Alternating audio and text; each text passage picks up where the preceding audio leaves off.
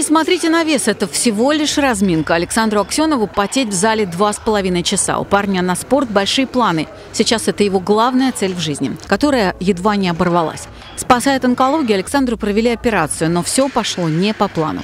Почку сразу ампутировали, ноги вот еще, получается, ну, я так думаю, что они весь день просто пережаты были. Пришел в себя Александр уже инвалидом, без обеих ног. Сначала не понял, что к чему произошло со мной.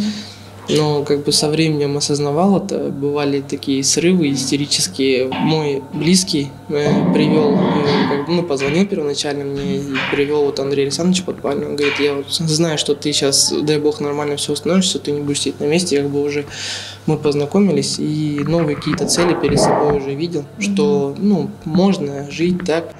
Андрей Подпальный вспоминает, что с абсолютно серым и безжизненным парнем в больнице они проговорили целый час. Восстановившись, Александр начал поднимать первые гантели. В юности занимался греко-римской борьбой, так что тренироваться сразу начал серьезно. И спустя полгода уже стал шестым на чемпионате России.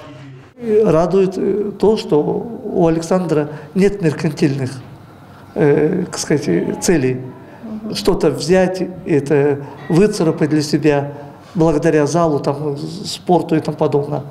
А цель одна – стать паралимпийским чемпионом. Разведение гантели лежа на горизонтальной скамье необходимо для улучшения результата в режиме лежа. Бросить спорт Александру не дает не только стремление, азарт, но и всеобщая поддержка. Друзья помогают с работой дома, а супруга Ирина и не переставала в него верить. Сначала не испугалась онкологии, потом, вопреки отговоркам, вышла замуж за инвалида. И счастлива.